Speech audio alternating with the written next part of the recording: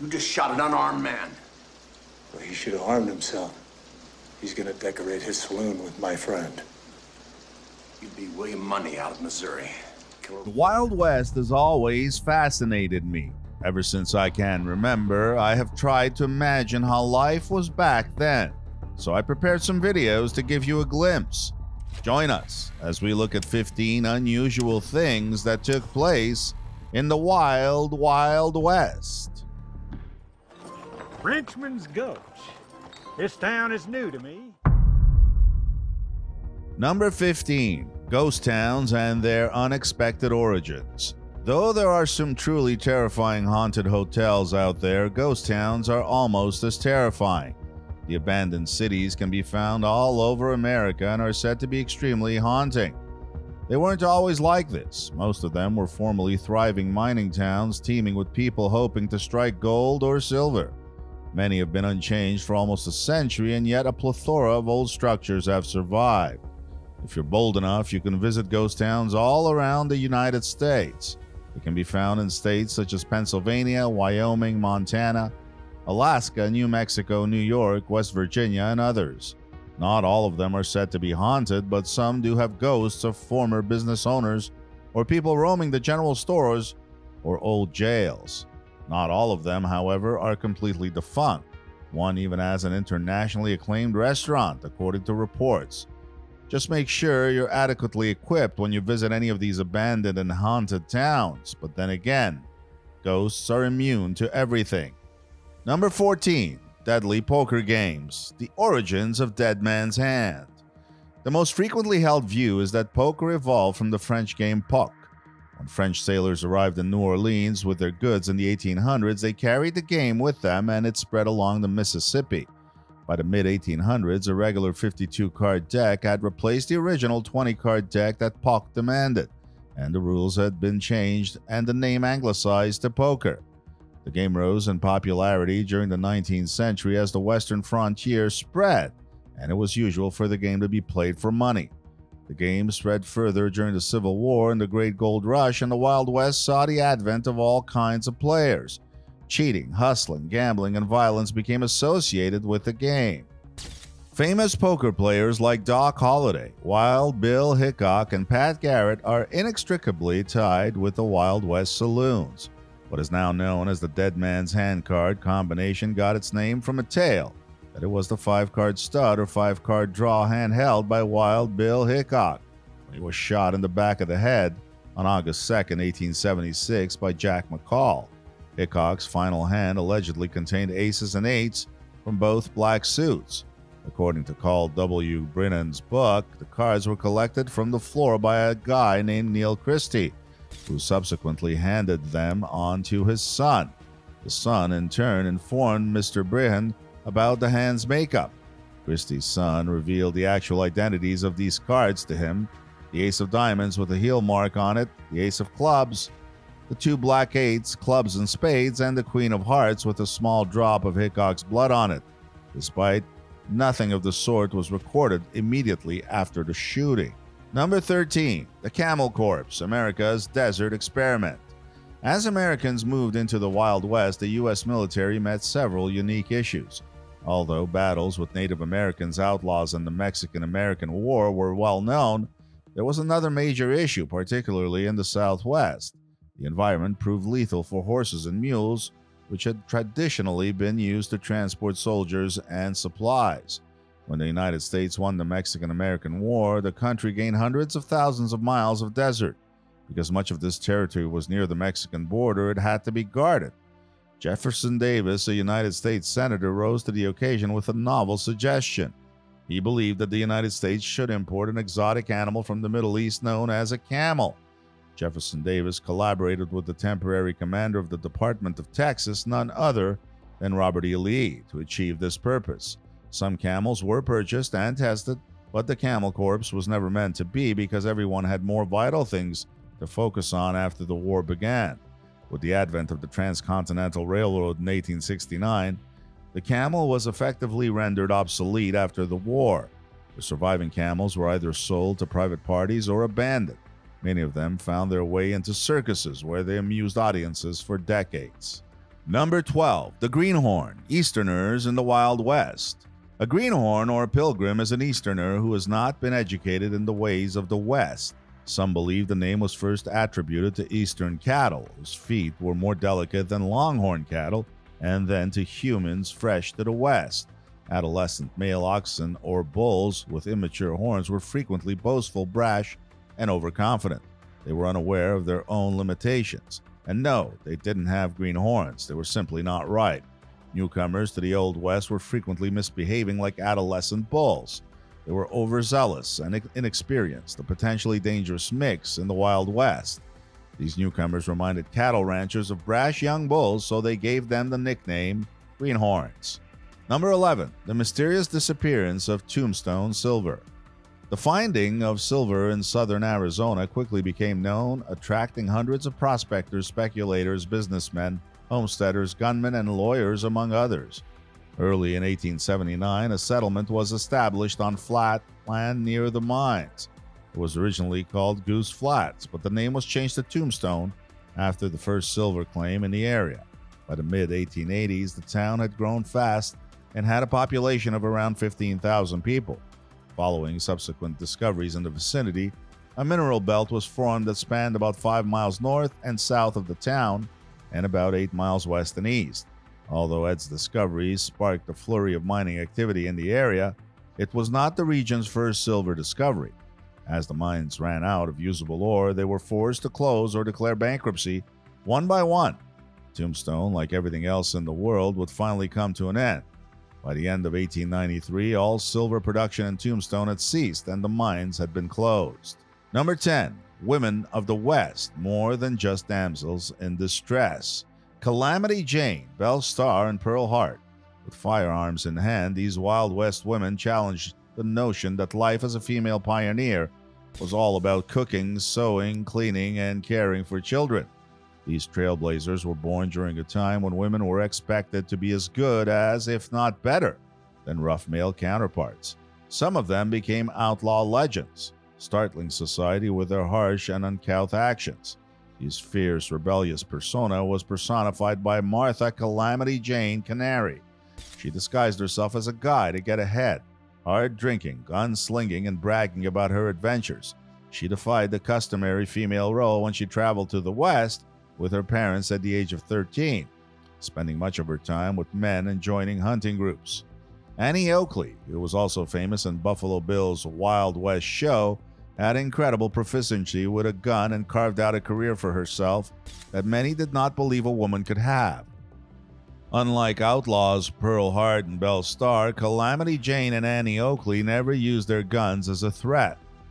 Pearl Hart was inspired by the strong ladies of the West, especially Annie Oakley, who she fell in love with after witnessing her perform. Hart traveled to Arizona, leaving her children at home in Canada, quickly found herself involved in criminal activity as a solution to her financial problems. The most famous bandit queen was Belle Starr, whose relationship with Jesse James and the younger brothers, as well as her vast record of illicit behavior, made her one of the Wild West's most prominent female outlaws. These women's extraordinary stories became folklore, their exploits idealized and embellished in dime novels and later in the musical and movie picture industries.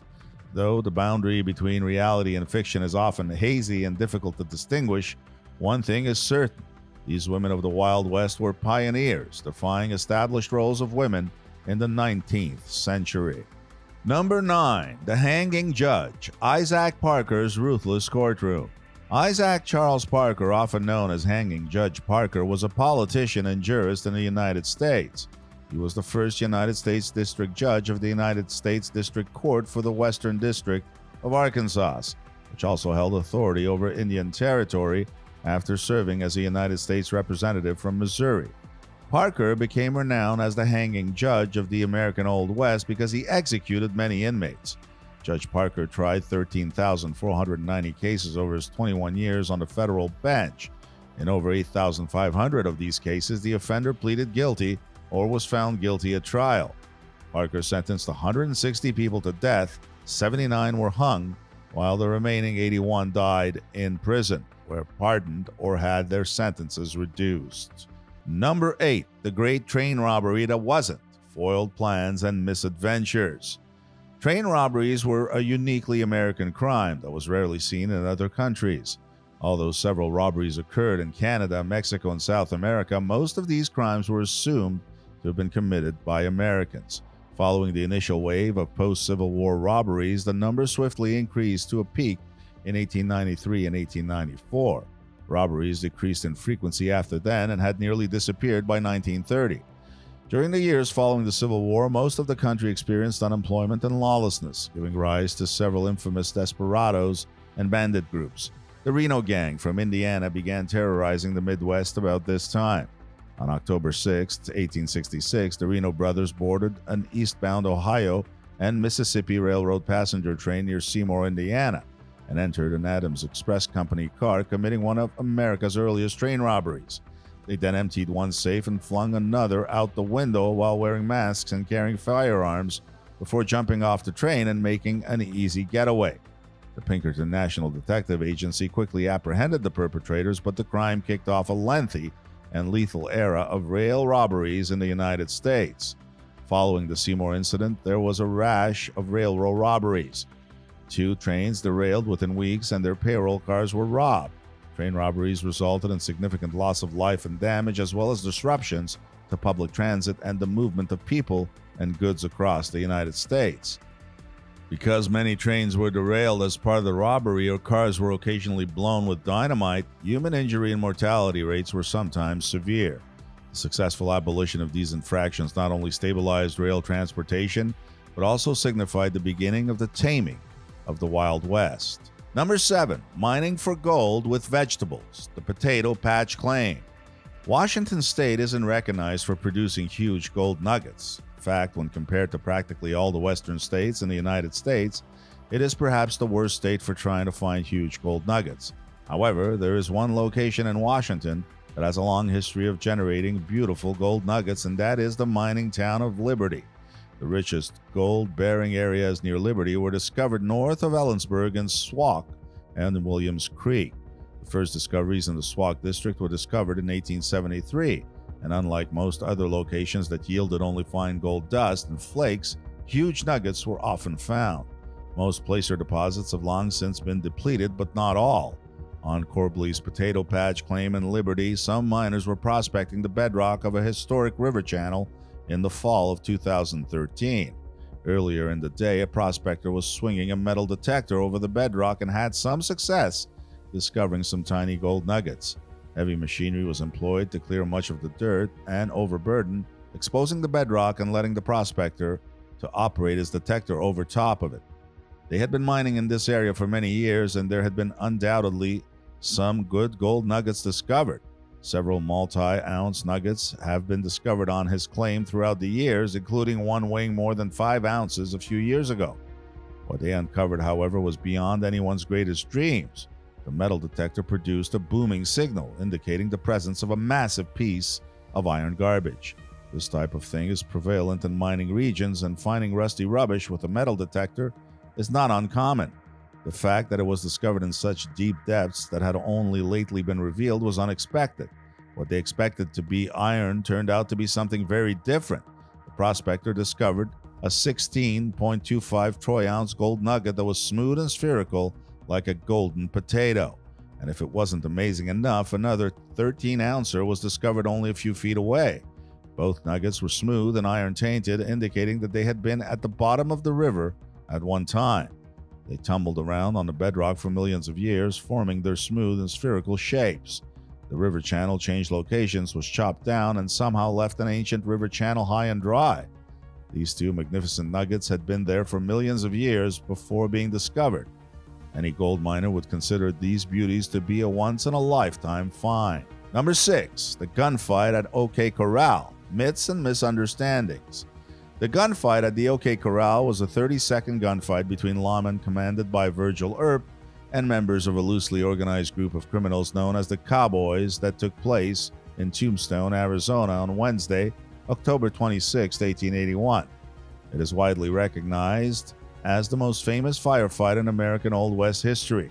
The gunfight was the culmination of a long running dispute. On one side were cowboys Billy Claiborne, brothers Ike and Billy Clanton, and brothers Tom and Frank McLaury. Virgil Earp, Deputy U.S. Marshal and Town Marshal, his two brothers, Special Policeman Morgan and Wyatt Earp, and Temporary Policeman Doc Holliday were on the other side. Both Billy Clanton and the McLaury brothers were assassinated. Ike Clanton and Billy Claiborne fled the brawl. Virgil, Morgan, and Holliday were all injured, but Wyatt escaped unscathed. Wyatt is frequently mistakenly considered as the primary figure in the shootout, even though his brother Virgil was Tombstone's town marshal and deputy U.S. Marshal that day and had considerably more fighting experience as a sheriff, constable, marshal, and soldier. Virgil decided to enforce a city rule that prohibited carrying guns in town and disarmed the cowboys. Wyatt was simply his brother's temporary assistant marshal. The gunfight did not take place within or near the OK Corral despite its name. The shooting took place in a small yard on Fremont Street, six doors west of the OK Corral's back entrance. Many of the sources recounting the circumstances leading up to the gunfight, as well as the details of the gunfight, contradict each other. According to the Earp's version of events, the fight was in self defense because the cowboys, who were armed in violation of local code, refused to comply with a valid request to surrender their guns and instead drew their pistols. Cowboys said that the Earps shot them in cold blood after they raised their hands and offered no resistance. Sorting out who was telling the truth was difficult back then, and it still is today.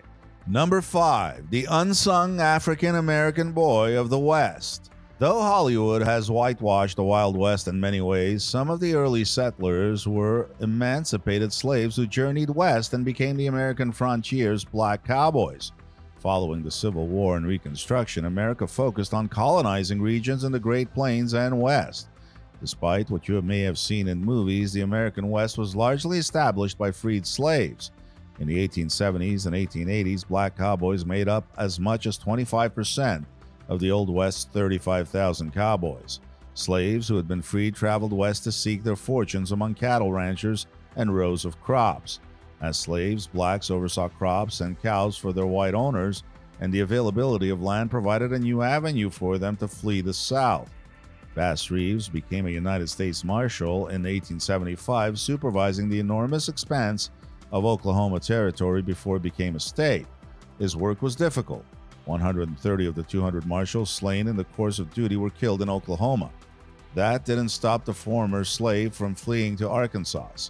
Because of his time fighting in Oklahoma Territory during the Civil War, he was an outstanding marksman with a rifle and pistol.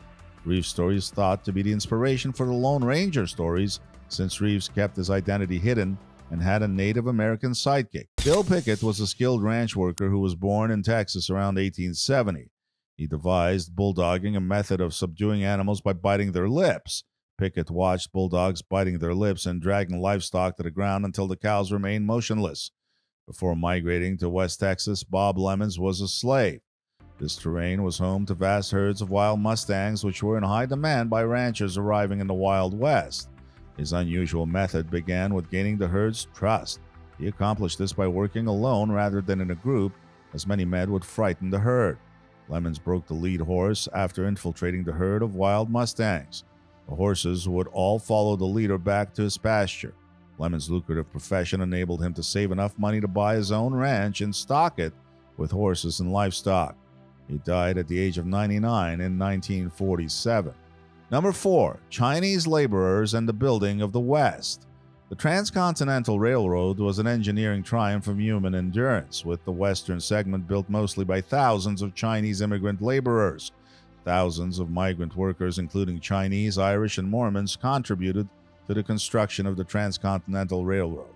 Chinese immigrants were especially important in the construction of railroads in the American West, and as Chinese laborers became successful in the United States, many of them became entrepreneurs.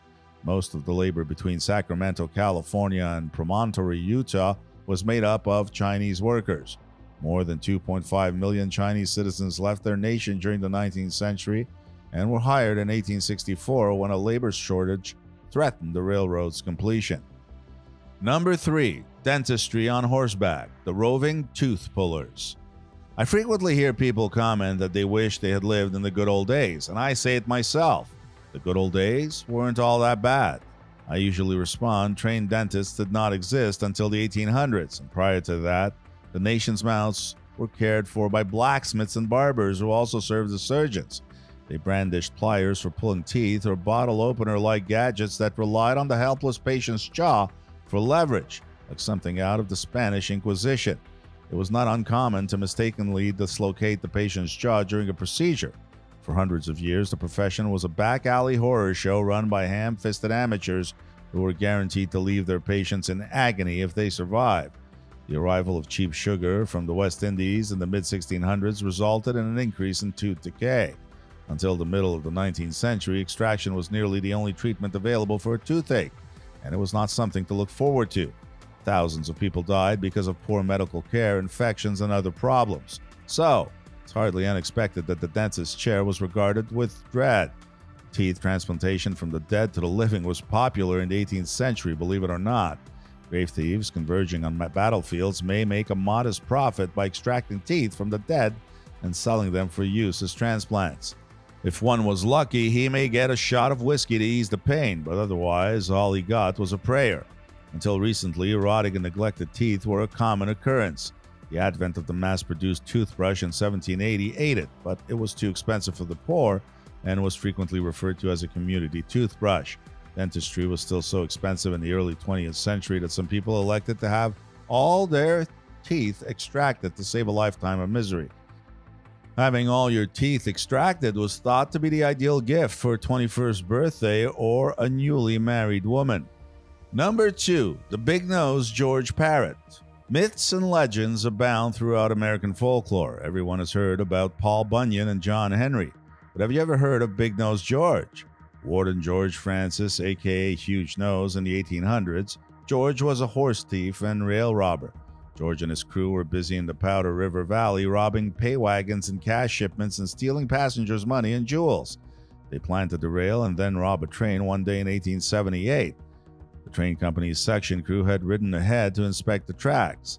After witnessing what the bandits had done, the crew was able to stop the train, repair the tracks, and go about their job without incident.